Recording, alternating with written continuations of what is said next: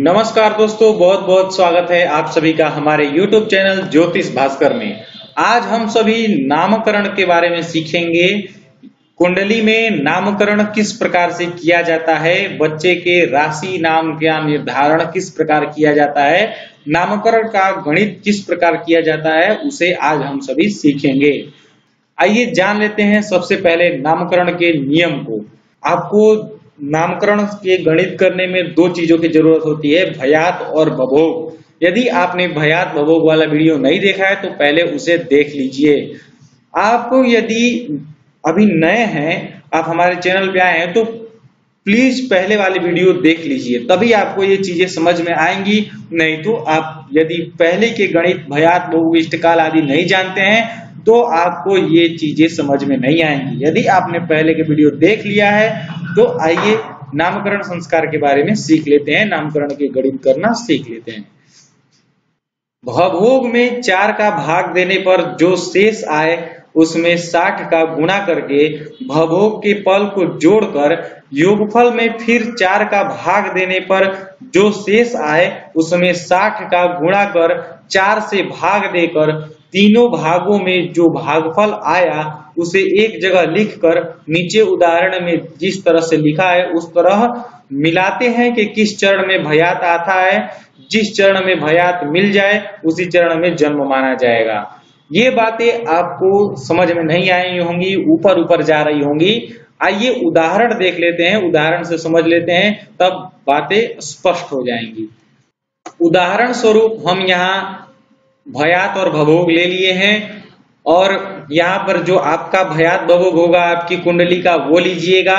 और जन्म नक्षत्र है मृगशीर्ष, अर्थात बच्चे का जन्म मृगशीर्ष नक्षत्र में हुआ है, जिसके ये चारों चरणाक्षर हैं, वे वो गा की ठीक? तो अब हमें सबसे पहले करना क्या है कि भभोग में चार का भाग देना है। जैसा कि देख रहे हैं आप भभोग है साठ घटी दस पल। इसमें चार का भाग देना है। तो चार से भाग देंगे तो चार एकम चार बच गया दो, ऊपर से शून्य उतरा, बीस हो गया, चार पच्चे बीस, कट गया। अब जो यहाँ शेष आएगा, उसमें साठ से गुणा कर देंगे नियमानुसार। नियम के अनुसार हम इस शून्य में जो शेष आएगा यहाँ पर, उसमें साठ का गुणा करेंगे। साठ से जब शेष में गुणा किए तो शून्य हुआ। और इसमें जो यहाँ पल होगा, जैसे कि साठ के बाद जो यहाँ जो दस पल है, यहाँ पर जो पला में होगा, आपको पल में प्राप्त होगा, उसे यहाँ पर जोड़ देंगे। यानी कि शेष में साठ से गुणा करेंगे, जितना आएगा उसमें इस पल को जोड़ देंगे। तो ये पल दस है तो इसको यहाँ पर जोड़ देते हैं। तो हमें शून्य में दस जोड़ने पर दस प्राप्त हुआ। अब इस दस में फिर चार से हम भाग देंगे। तो 10 में चार का जब भाग देंगे तो दो बार में जाएगा आठ। यहाँ पर 10 में से आठ को घटाएँगे, दो बचेगा। अब इस दो में साठ का गुणा करेंगे नियम के अनुसार तो हो जाएगा 120 फिर इस 120 में चार का भाग देंगे। जब हम चार से भाग देंगे तो चार या बारह। बारह से कट जाएगा, ऊपर से उतरेगा शून्य। अब यह शून्य आपने भाग पढ़ा होगा। आप यदि भाग करना जानते होंगे तो आपको मालूम होगा कि यदि कोई संख्या ऊपर से उतरता है और वह यहाँ भाज्य से नहीं कटता तो भागफल में एक शून्य बैठा देते हैं। उसी तरह से यह शून्य हमारा ऊपर से आया और चूँकि यह भाज्य से चार से नहीं कटेगा, इसलिए हम यहाँ भागफल में एक शून्य बिठा देंगे। तो ये हो गया तीस। अब आपको क्या करना है कि यहाँ पर तीनों भागों में जो भागफल आया है उसे लिख लेना है। जैसे पहले भाग में पंद्रह भागफल आया है दूसरे भाग में दो भागफल आया है और तीसरे भाग में तीस आया है। यानी कि हम पंद्रह, दो, तीस को जो तीनों भागों का भागफल होगा, उसे हम यहाँ लिख लेंगे। तो पहले हम जाँच लेते हैं कि यह जो पंद्रह, दो, तीस हमारा भागफल आया है, यह भाग सही तो है? तो हम उसे जांचने के लिए हम पंद्रह, दो, तीस को इस प्रकार से लिख लेंगे और इसके नीचे पंद्रह, दो, तीस, पंद्रह, दो, तीस, पंद्रह, दो, तीस, इस तरह से चार बार लिख लेंगे, ठीक? अब इनको हम जोड़ देंगे। तो जोड़ने से हमें भभोग प्राप्त हो जाएगा यदि तो यह भाग हमारा सही है। तो आइए जोड़कर देख लेते हैं। तीस तीस दूनी साठ, तीस तीन नब्बे और तीस चौके एक सौ बीस हुआ। अब क्या है कि साठ से अधिक हो गया, यानी कि यह घटी पल विपल में है तो 120 विपल बराबर होता है दो पल। ठीक? तो यह दो पल इधर पल में आकर जुड़ जाएगा। ठीक? तो दो दो दूनी के चार, दो तीन, छह, दो चौके आठ यह आठ पल हुआ और इधर बीपल वाला जो कन्वर्ट हुआ था पल में, वह दो, यानी कि दो चौके आठ और इधर का दो दस, यानी यह दस पल हो गया, ठीक? अब यह घटी है तो पंद्रह पंद्रह दूनी के तीस, पंद्रह तीन या पैतालीस, पंद्रह चौके साठ, यानी कि यह साठ हो गया। तो यह साठ घटी दस पल, ज़ीरो विपल आया है। अब देख लेते हैं क्या हमारा भभोग जो है, वह साठ घटी दस पल है। तो आइए ऊपर देख लेते हैं। जी हाँ बिल्कुल हमारा भभोग साठ घटी दस पल है, यानी कि हमारा यह भाग सही है।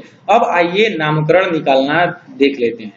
अब हमें करना क्या है कि यह जो पंद्रह, दो, तीस तीनों भागों का भागफल प्राप्त हुआ, उसे यहाँ पर लिख लेंगे। अब इसके दो गुना को यहाँ पर लिखेंगे। यानी कि पंद्रह, दो, तीस के दो गुना को यहाँ पर लिखेंगे। एक तरह से कहें तो इस पंद्रह, दो, तीस में पंद्रह, दो, तीस को जोड़ के यहाँ पर लिख देंगे, ठीक? तो इस तीस में तीस को जोड़े तो साठ हो गया।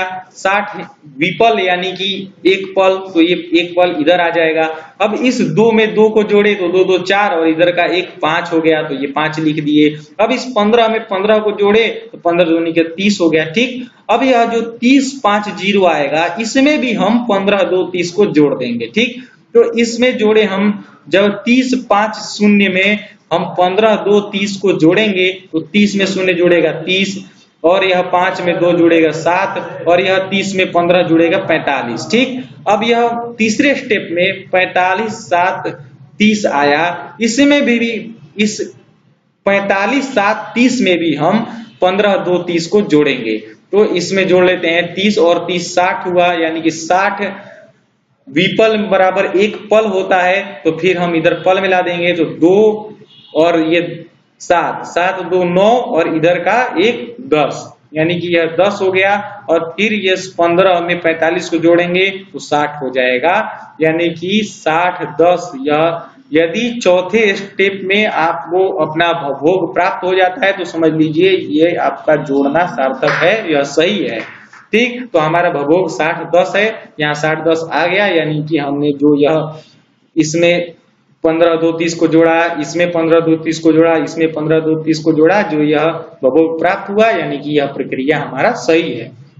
ठीक, अब आपको इसमें मिलाना है कि इस चारों में से किसके अंडर में आपका भयात आता है। ठीक तो आइए देख लेते हैं भयात क्या है। हमारा भयात है पच्चीस बीस। ठीक, यानी कि 25 घटी 20 पल। तो इसे हम नीचे चल करके मिला लेते हैं कि 25 घटी 20 पल किस चरण में आ रहा है। देखिए, ये आपके चरण का मान है। यानी कि जिस नक्षत्र में लड़के का जन्म हुआ है, उसके पूरे नक्षत्र के चारों चरणों का ये मान है।